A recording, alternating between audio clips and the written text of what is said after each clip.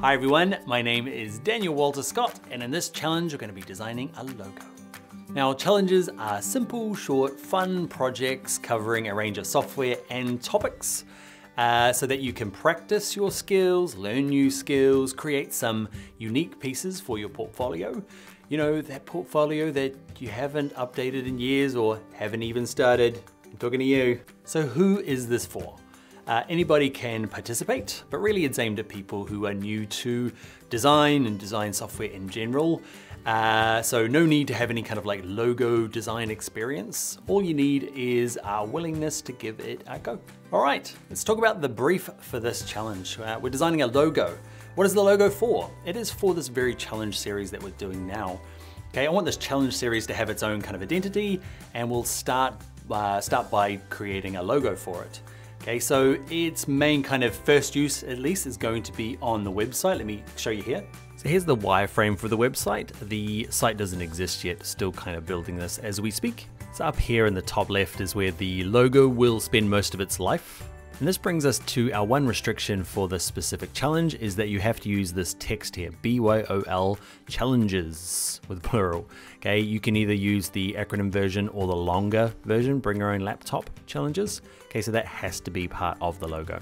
So you need that text, but in terms of shape, color, fonts, okay, I'll leave that all up to you. All you have to do is keep in mind that this is a logo for our Creative Challenges website. So death metal logo is probably not going to be right. Probably not going to stop a few of you going that direction, but uh, just keep in mind the audience. So what software can you use? You can use anything, because I can't check. Okay, but if you're looking for a purpose-built, um, you know, appropriate bit of software, is Adobe Illustrator. Now, if you haven't done Illustrator before, um, challenge yourself. This might be the week that you go off and learn it.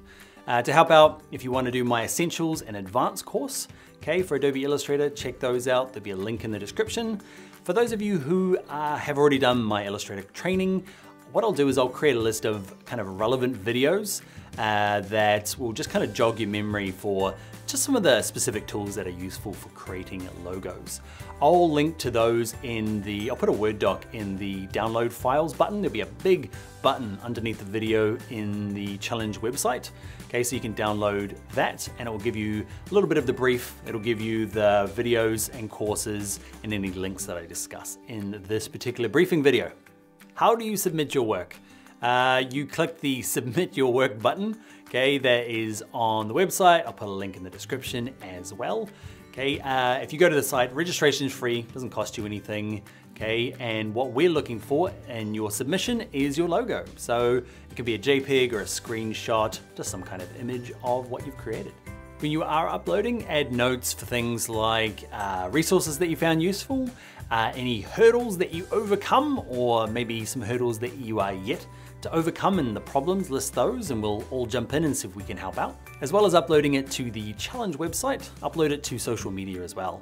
Okay, make sure you tag uh, me in it. These are the options.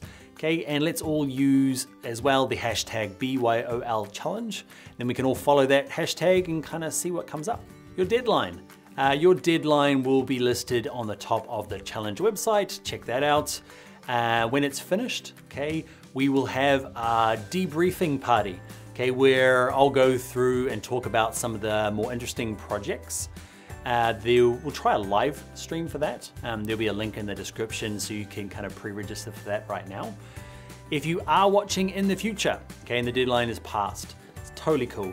You can totally submit your work, okay, practice your skills and build out that portfolio. So how long should this take you? Uh, some of us are gonna have a whole day to spend on the project, and some of us are gonna have a couple of hours in between kids screaming at us. Okay, so do what you can with the time you have available, and just remember, it's not a beauty pageant, it's a practice pageant. All right, that's it. Time to get going. Just remember why we've got this project. It's not to be the best, it's not to win, okay? It's to be slightly better versions of ourselves than when we started.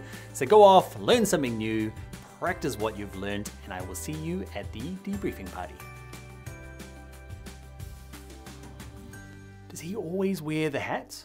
I know he wears the glasses, but sometimes not the hat. That's why I'm wearing the hat. Can you see it? I guess I'll zoom in. Okay, I'd like to blame it on my cat. but I don't have a cat. I seriously considered it, blaming it on my two-year-old because he has really scratchy fingers and he's scratched me a few times. But all honestly, uh, it was a hook. I walked into it. I even put the hook up in my garage. And guess how high the hook is when you're standing? all right. End of challenge video.